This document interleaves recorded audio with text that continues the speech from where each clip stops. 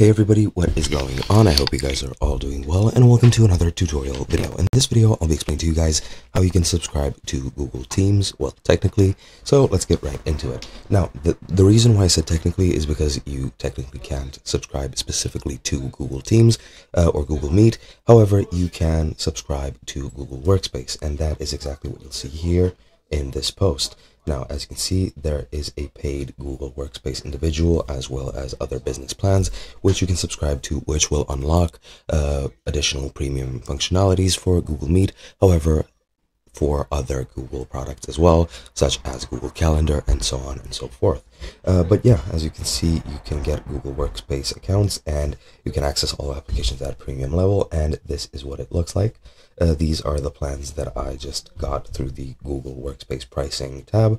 And as you can see, you have a couple of plans. You have the business starter, the business standard, the business plus and enterprise, where you need to contact sales for pricing. And yeah, this is pretty much the ones that you can have from here. Now, I do know there is an individual one.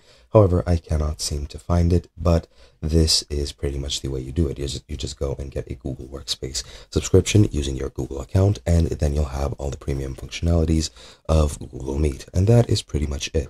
Hope you guys enjoyed, and I'll be seeing you guys next time.